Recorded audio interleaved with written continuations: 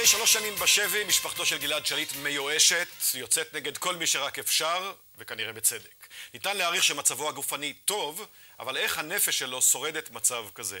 עמוס לויטוב, שלום. ערב טוב. הוא ישב, אתה ישבת בשבי המצרי שלוש וחצי שנים. נכון. עוד מעט הוא יגיע לזמן שלך. הסיטואציה לא דומה ממש, כי הוא לא עבר הכנה, הוא היה חייל פשוט, שישב בקו, אתה היית נווט, פנטום בחיל האוויר, ובכל זאת. אתה, איך אתה מעריך שמצבו הנפשי, אחרי פרק זמן כל כך ארוך?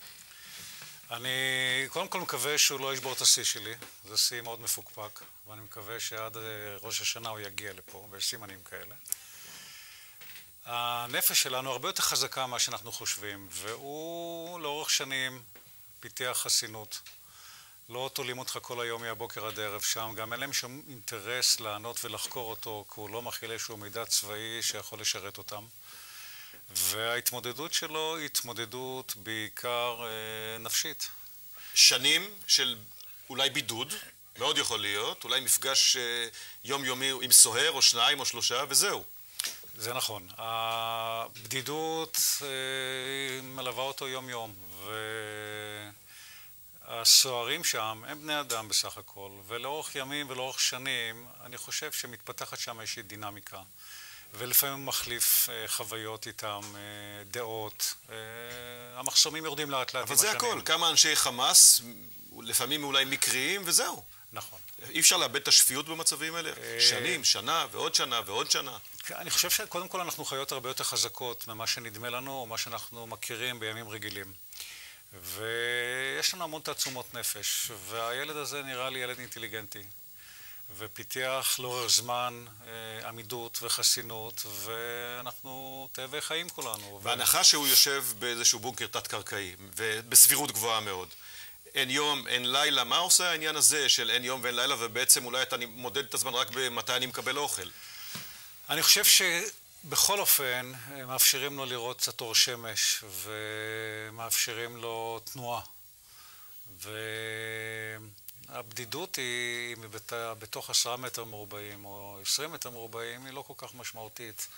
היתרון הגדול של גלעד, ואני יכול להגיד את זה על סמך ניסיון אישי, הגיל הצעיר הנעורים, יש להם כנראה יכולת בלתי רגילה של עמידות וגם יכולת של ריקאברי, של uh, תיקונים של חוסר תנועה, של uh, פגיעות uh, גופניות כאלו או אחרות. אי אפשר להשתגע אבל מהבדידות הזאת? Uh, שעות על גבי שעות לבד, אולי כנראה באיזה בונקר תת-קרקעי?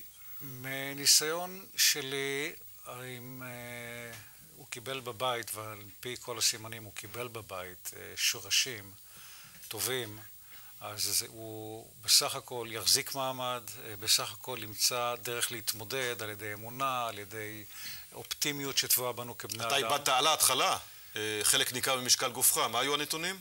אני איבדתי 30 וכמה קילו. אה, נפלתי ושקלתי 85 קילוגרם, אחרי כמה חודשים שקלתי 50, אני, אף אולי פחות. ואחר כך זה השתפר? ואחר כך זה עם הפיתות. גם כתבת את הספר הזה, נכון, ש... נכון. שקר השתיקה, שעל עוללות השבי. על אתה השבי... גם נותן הרצאות, סדנאות בנושא הזה. נכון. הספר עוסק בסיפור השבי וחברות אתה עברת הרבה עינויים. מספר חודשים הייתי בתהליך של חקירות ועינויים אה, קשים. לאחר מכן חצי שנה בתא בידוד, ושלוש שנים חיינו בחדר אחד, קבוצה של עשרה שבויים ישראלים, צנחנים, שקמיסטים. אה, מה עושה לו מה עושה לו העובדה שהוא כבר יודע, שיודעים עליו, שעוקבים אחריו עד כמה שאפשר? זה מקור בלתי רגיל של כוח, הוא כתב שם מספר מכתבים. ואני מניח שהקליטו אותו, צילמו אותו, ויש לו איזושהי תחושה שזה נעשה על מנת אה, לתת ל- לישראל איזשהו חומר שמצביע על זה שהוא חי. זאת אומרת, פחד המוות אה, כבר כנראה, אולי פחות, ללא לא ספק. נעלם. ללא ספק יש לזה השפעה אדירה, וזה מקור עצום של כוח ותקווה. אה, שאלת לגבי הספר, הוא עוסק גם בנושא של חבלי קליטה. והתהליך הזה, אחרי שלוש שנים, שלוש פלוס, אני מקווה שנראה את גלעד בימים כן, הקרובים. נראה לי שעל זה אנחנו כבר נדבר כשהוא אינשאללה יחזור. אינשאללה, בימים הקרובים. עמוס לוי טוב, תודה רבה. תודה רבה. שבאת. עכשיו למפסידים של היום הזה.